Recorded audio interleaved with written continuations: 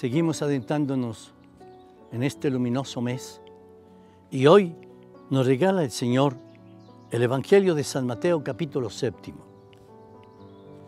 Concluyendo el sermón de la montaña, Jesús les dijo a sus discípulos, no son los que me dicen, Señor, Señor, quienes entrarán al reino de los cielos, sino los que cumplen la voluntad de mi Padre que está en el cielo. En resumen, todo el que escucha mis palabras y las pone en práctica se parece al hombre sensato que edificó su casa sobre la roca.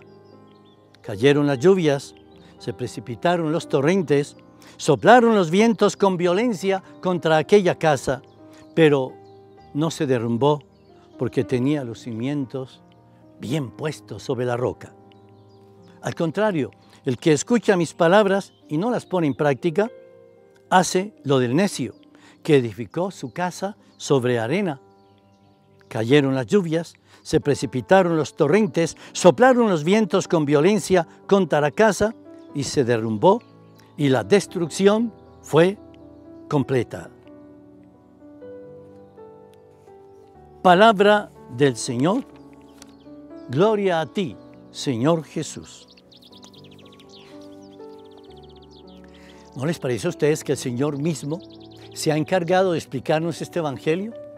Miren ustedes, ¿qué han hecho el ciclón ETA, el ciclón IOTA? Pues comprobar dónde están las buenas, las regulares y las malas construcciones, ¿verdad? Las construcciones un poco sobre arena, un poco movediza, pues las barrió por completo. Las construcciones que estaban bien cimentadas, que tenían eh, bien en la tierra sus cimientos, resistieron. Esa es tu vida. Si tú no edificas sobre Jesús, sobre el Señor tu vida, llegará cualquier tempestad, por pequeña que sea. Mira, una mala mirada, un grito de momento, un momento en el cual quedas enfermo o en un poco de desamparo o tuviste un obstáculo y te diluyes y te vienes abajo. Es porque entonces tus cimientos no están firmes. Por eso hoy estamos llamados a qué? A edificar, a edificar sobre buen cimiento.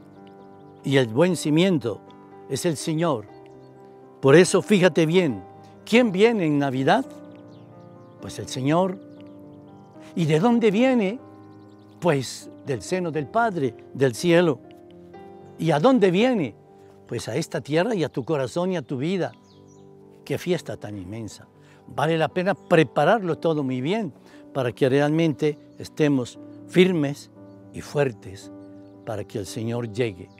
Por eso digámosle, ven Señor, no tardes y ayúdame a ponerme buenos cimientos en la vida para que hasta el final yo esté firme, no caiga.